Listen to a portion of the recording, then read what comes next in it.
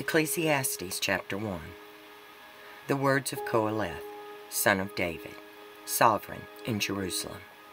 Futility, futility, says Qoheleth. Futility, futility. All is futile. What does man gain from all his labor, in which he toils under the sun? A generation passes away, and a generation comes, but the earth stands forever. The sun also rises, and the sun goes, and hurries back to the place where it arose, going to the south, and turning around to the north, turning, turning, and on its rounds the wind returns. All the rivers run into the sea, yet the sea never overflows. To the place from which the rivers come, there they return again. All matters are wearisome. No one is able to speak of it. The eye is not satisfied with seeing, nor the ear filled with hearing. What has been is what shall be. What has been done is what shall be done. And there is none new under the sun. Is there a matter of which it is said, See, this is new? It was here already, long ago. There is no remembrance of former ones, nor is there any remembrance of those that are to come by those who come later on. I, Qoheleth, was sovereign over Israel in Jerusalem. And I applied my heart to seek and search out by wisdom concerning all that has been done under the Shamayim this evil task Elohim has given to the sons of man, to be humbled by it. I have seen all the works that are done under the sun, and see all was futile and feeding on wind. The crooked could not be straightened, and what is lacking could not be counted. So I spoke to my heart, saying, See, I have attained greatness and have gained more wisdom than all who were before me in Jerusalem. And my heart has seen much wisdom and knowledge. And I applied my heart to know wisdom and to know madness and folly. I know that this too is feeding on wind.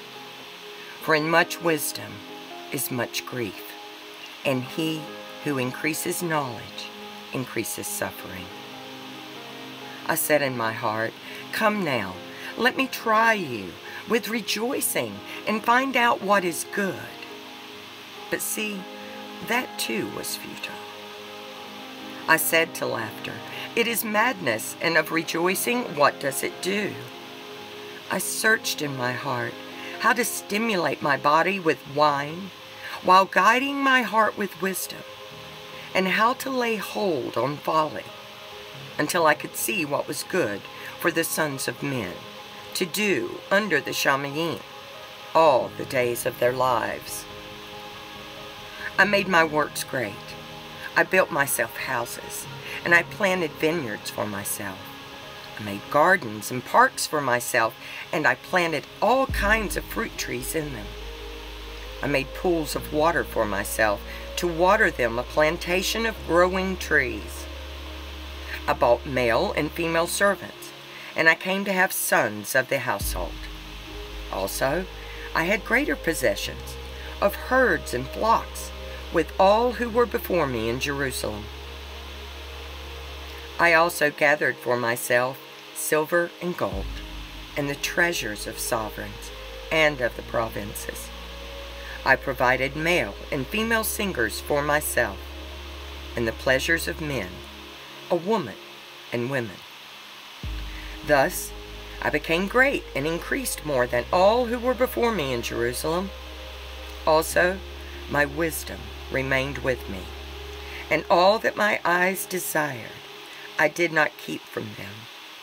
I did not withhold my heart from any pleasure for my heart rejoiced in all my labor, and this was my portion from all my labor. But when I looked on all the works that my hands had done, and on the labor in which I had toiled, see, all was futile, and feeding on wind, and there was no gain under the sun. And I turned myself to look at wisdom, and madness, and folly. For what would the man do who comes after the sovereign? But what already has been done. Then I saw that wisdom is better than folly, as light is better than darkness. The wise one's eyes are in his head, but the fool walks in darkness. And I also knew that one event befalls them all. And I said in my heart, As the event of the fool, even so it befalls me. And why was I then more wise? Then I said in my heart, This also is futile. For there is no more lasting remembrance of the wise man than of the fool, since in the days to come all is forgotten. And how does a wise man die? With the fool. And I hated life, because the work that was done under the sun was evil on me, and all is futile and feeding on wind. And I hated all my labor in which I had toiled under the sun, because I leave it to a man who would come after me. And who knows whether he is wise or foolish? Yet he shall rule over all my labor in which I toiled, and in which I have shown myself wise under the sun.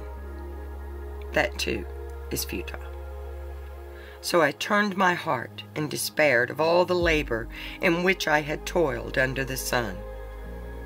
For a man might labor with wisdom, knowledge, and skill, yet he leaves his heritage to a man who has not labored for it. That too is futile and a great evil. For what does a man get for all his labor and strain of his heart? With which he has toiled under the sun? For all his days are sufferings, and his work grievous. Even in the night his heart takes no rest.